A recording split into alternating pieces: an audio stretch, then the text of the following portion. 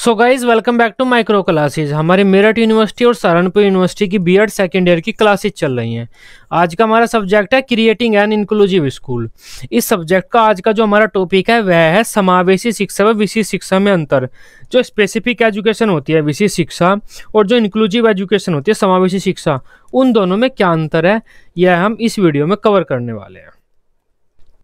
Short question में question आपके exam में आ जाता है तो दस बारह पॉइंट हम पढ़ेंगे, जो भी आपके आठ दस याद रह जाए, आप अपने पेपर में लिख सकते हैं। तो विशेष शिक्षा व समावेशी शिक्षा। अब देखो, समावेशी शिक्षा क्या होती है? समावेशी शिक्षा में हम कोशिश करते हैं कि हमारे पास जो सामान्य बच्चे हैं और विकलांग बच्चे हैं, दोनों तरह के बच्चे एक साथ एक ही क्लासरूम में बैठकर ज्ञान प्राप्त करें। इसके लिए टीचर को हम ट्रेनिंग दे देते हैं, टीचर पढ़ाता रहता है। लेकिन कुछ बालकों की विकलांगता का स्तर इतना ज़्यादा होता है कि वे बालक समावेशी शिक्षा में सामान्य बच्चों के साथ बैठकर ज्ञान प्राप्त नहीं कर पाते तो इसके लिए हम अलग से स्कूल खोलते हैं। इस प्रकार के बालकों के लिए हम अलग से स्कूल खोलते हैं, जिनमें हम उन्हीं बच्चों को ज्ञान प्रदान करते हैं या पढ़ाते हैं, जो विशेष रूप से बाधित होते हैं, विकलांगता का स्तर जिनका अधिक होता है। तो वो जो शिक्षा होती है उससे हम विशेष शिक्षा बोलते हैं। विशेष शिक्षा मतलब जो किसी एक क्षेत्र में विशेष होती है, किसी बाल, विशेष प्रकार के बालकों के लिए विशेष होती है। तो विशेष शिक्षा होती है। विशेष शिक्षा में बालक को हम अलग विद्यालय में ले जाते हैं, अलग तरह से गतिविधियों के माध्यम से ज्ञान प्रदान करते हैं और उसे इस लायक बनाते हैं कि वह समाज में घुल मिल सके और अपने आप को समाज का अहम हिस्सा मान सके। अब ये हमारी विशेष शिक्षा होती है, यहाँ पर पंद्रह पॉइंट लिखे हुए हैं तो कोई भी दस बार आपके याद रह जाए, पेपर में लिख देना। सबसे पहला पॉइंट है हमारा, जो विशेष शिक्षा होती है, वो विशेष छात्रों के लिए ही होती है। विशेष छात्र मतलब जो अपंग होते हैं या प्रतिभाशाली होते हैं, जो सामान्य नहीं होते हैं। लेकिन समावेश, समावेशी शिक्षा में सभी प्रकार के छात्र ज्ञान प्राप्त कर सकते हैं। यह बाधित बालकों को शिक्षा प्रदान करने का पुराना विचार है। तो जो विशेष शिक्षा है, वह पुराना विचार है। प्राचीन टाइम में जब हमारे पास बाधित बालक ज़्यादा होने लगे थे तो हमने बाधित बालकों की शिक्षा की अलग से व्यवस्था करनी शुरू कर दी थी। उसे ही हम विशेष शिक्षा बोलते हैं। लेकिन जो समावेशी शिक्षा है, यह नवीन विचार है, आधुनिक विचार है। तो विशेष शिक्षा की व्यवस्था हम प्राचीन टाइम से करते आ रहे थे। हमने देखा कि विशेष शिक्षा में बालकों का विकास अच्छे से नहीं हो रहा। तब हमने सोचा कि ज़रूरी नहीं है, बाधित बालकों को हम विशेष शिक्षा ही प्रदान करें। जहाँ तक संभव होता है, हमें उन्हें समावेशी शिक्षा में ज्ञान प्रदान करना चाहिए।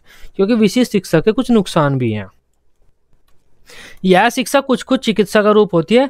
विशेष शिक्षा में हम बालक का ट्रीटमेंट ही करते हैं, उसे जानकारी प्रदान करते हैं, ज्ञान प्रदान करते हैं, लेकिन ट्रीटमेंट भी चलता रहता है।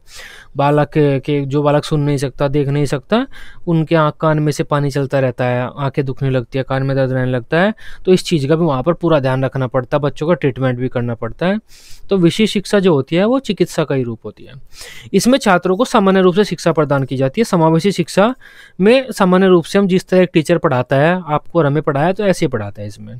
यह भेदभाव के सिद्धांत पर कार्य करती है, क्योंकि सामान्य बच्चे को हमने अलग स्कूल में डाला और जो बच्चे विकलांग है उसे अलग स्कूल में डाला तो भेदभाव हो गया ये। तो विशेष शिक्षा हमारी भेदभाव के सिद्धांत पर कार्य करती है, लेकिन समावेशी शिक्षा समानता के सिद्धांत पर कार्य करती है। इसमें हम सभी प्रकार के बच्चों को चाहे विकलांग हो, चाहे इंटेलिजेंट हो, चाहे कुछ भी हो, एक ही क्लासरूम में बैठाकर ज्ञान प्रदान करते हैं। इसके लिए अलग से विद्यालयों की स्थापना करनी पड़ती है, क्योंकि विशेष शिक्षा में हम बच्चे को अलग स्कूल में ले जाते हैं, जो स्पेशली ऐस, इसी प्रकार के बच्चों के लिए बना हो। लेकिन समावेशी शिक्षा में क्या होता है? अलग से विद्यालयों की स्थापना करने की हमें ज़रूरत नहीं होती, सामान्य विद्यालयों में हम बच्चों को ज्ञान प्रदान कर सकते हैं। विशेष शिक्षा में क्या होता है? विशेष रूप से प्रशिक्षित शिक्षकों की व्यवस्था करनी पड़ती है। लेकिन समावेशी शिक्षा में जो सामान्य शिक्षक है, उसे ही हम हल्का फुल्का ट्रेनिंग देकर, उसी की ट्रेनिंग करके ज्ञान प्रदान कर सकते हैं। इस लायक बना सकते हैं कि वह बच्चों को पढ़ा दें। लेकिन विशेष शिक्षा के लिए हमें विशेष रूप से प्रशिक्षित प्रशिक्षित शिक्षकों की ज़रूरत पड़ती है। विशेष शिक्षा के लिए बहुत अधिक धन की ज़रूरत पड़ती है, क्योंकि वहाँ पर अलग से हमें अलग अलग शिक्षण सहायक सामग्री वगैरह वगैरह ट्रीटमेंट भी चलेगा बच्चों का, हमें डॉक्टर भी आएँगे। इसके अलावा एक क्लास को तीन चार टीचर आपस में मिलकर पढ़ाते हैं, क्योंकि बच्चे होते हैं तो इंट्रैक्शन करते रहते हैं, गतिविधियों के माध्यम से सीखते हैं तो ज़्यादा धन खर्च होता है। लेकिन समावेशी शिक्षा में क्या होता है? इसमें कम धन खर्च होता है। गंभीर रूप से बाधित छात्रों के लिए ही विशेष शिक्षा की व्यवस्था की जाती है। अल्प बाधित छात्रों को समावेशी शिक्षा में ज्ञान प्रदान किया जाता है। नेक्स्ट पॉइंट है, विशिष्ट विद्यालय सामान्य विद्यालय प्रणाली से बिल्कुल भिन्न होते हैं। जो विशिष्ट विद्यालय हम तो हमारे चल रहे हैं या हम कोई खोलते हैं तो जो सामान्य विद्यालय हमारा चल रहा है, ये इससे बिल्कुल अलग होगा। अगर हमारा कोई नई शिक्षा नीति आई है, उसने सामान्य विद्यालय प्रणाली के सारे सब्जेक्ट वगैरह चेंज कर दिए तो ये विशेष शिक्षा वाले कोई चेंज नहीं होगा, क्योंकि इसके लिए अलग नियम आते हैं। समावेशी विद्यालयों में सामान्य विद्यालय प्रणाली का प्रयोग किया जाता है। इसमें छात्रों का सामाजिक विकास कम होता है, इसमें छात्रों का सामाजिक विकास अच्छा होता है। तो समावेशी शिक्षा में सभी प्रकार के छात्र एक साथ खेलते, कूदते, घुलते, मिलते बड़े होते हैं तो इनका जो विकास होता है अच्छा होता है। नेक्स्ट पॉइंट है छात्रों को उनकी विशिष्टता के आधार पर अलग अलग विद्यालयों में शिक्षा प्रदान की जाती है। मतलब अलग अलग विद्यालयों में शिक्षा प्रदान करते हैं हम। जैसे जो बच्चा देख नहीं सकते, उनके लिए ये एरिया है। जो बच्चे सुन नहीं सकते, उनके लिए ये एरिया है। जो बच्चे चल फिर नहीं सकते, उनके लिए ये एरिया है या फिर ये स्कूल है। तो अलग अलग क्षेत्रों में अलग अलग विद्यालयों में शिक्षा प्रदान की जाती है। लेकिन यहाँ पर सबको एक साथ, एक ही जगह पर बैठाकर शिक्षा प्रदान की जाती है। विशिष्ट विद्यालयों में छात्रों को सभी तरह की सुविधाएँ दी जाती हैं। जितनी भी सुविधाएँ हम दे सकते हैं, वे सारी विशिष्ट विद्यालयों में देते हैं लेकिन समावेशी शिक्षा में छात्रों को विशिष्ट विद्यालयों की तुलना में कम सुविधाएँ मिलती हैं। विशिष्ट शिक्षा में छात्र खुद को समाज से अलग थलग महसूस करते हैं, क्योंकि ये बच्चे पहले समाज में रह रहे थे, सबके साथ पढ़ रहे थे। लेकिन बाद में हम, ये समाज है, समाज में एक कॉर्नर में ले जाकर एक स्कूल में हमने डाल दिया तो इसी में इस कैंपस में ही अपना जीवन व्यतीत करेंगे, जब तक बड़े नहीं होते, अधिकतर जीवन। तो ये समाज से अलग हो जाते हैं।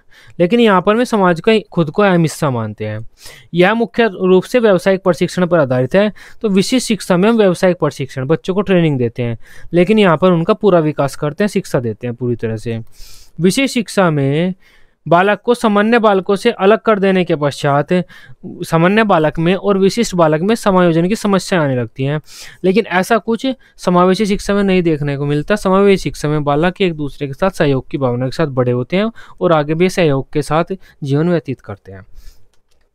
तो ये हमारी विशेष शिक्षा थी और समावेशी शिक्षा थी। आसान सा टॉपिक है, आसानी से अब आप समझ पाए होंगे कि जो विकलांग बच्चे होते हैं, हम कोशिश करते हैं वे सामान्य बच्चों के साथ ही पढ़े। वो तो हमारी समावेशी शिक्षा हो जाती है। लेकिन कुछ बच्चे ऐसे होते हैं विकलांगता का स्तर उनके इतना ज़्यादा होता है कि वे सामान्य बच्चों के साथ नहीं पढ़ पाते हैं। इसके लिए हम उनके लिए अलग से शिक्षा की व्यवस्था करते हैं और उस शिक्षा को हम विशेष शिक्षा कहते हैं। आई होप यह टॉपिक अब आपको क्लियर होगा। वीडियो अच्छी लगी हो, आप इसे अपने बी ग्रुप में दोस्तों के साथ शेयर कर सकते हैं। बी की सभी सब्जेक्ट की डेली रेगुलर क्लासेज लेने के लिए आप इस चैनल को सब्सक्राइब कर सकते हैं। Till then bye Take care.